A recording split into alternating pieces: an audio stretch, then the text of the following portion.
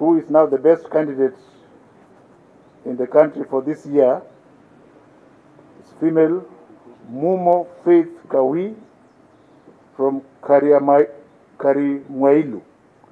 It's a public school and her score is 433. The, sec- the second candidate another female, Wesonga Yvette Nanzala from Chogoria Girls with 432 marks.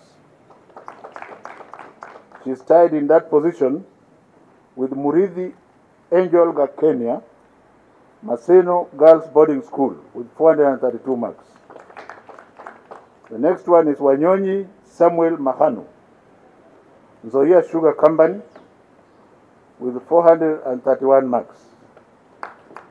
So those first four candidates are from the public school. Then there's uh, there is uh, Castro Williams from Crystal Hill Academy with 431 marks from a private school and is tied up together with uh, Tarus Chepkemboi Morin from St. Matthew's Septonok, the public school with 431 marks.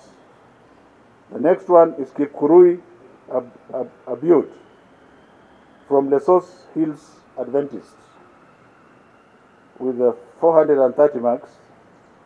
The next one is Mwangi Margaret Waruguru, Karatina DEB, very proudly public school.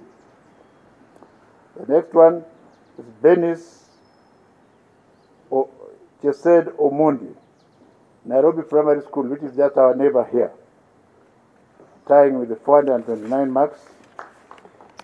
Since they are clapping, I'll finish them.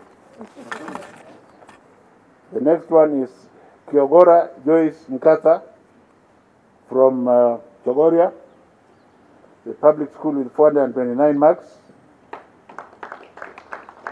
The next one is Daniel Chris Mboya, Crystal Hill Academy, private with 428 marks, and all the others are tied with the 428 marks. The, the next one tied is Njenga Lolwell Mwagambo, Emmanuel Springs Academy, which is private.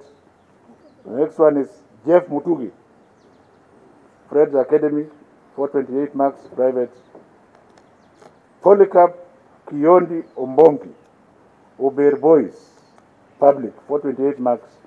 And the last of the 15, Deborah Zawadi, Emmanuel Springs uh, Academy, 428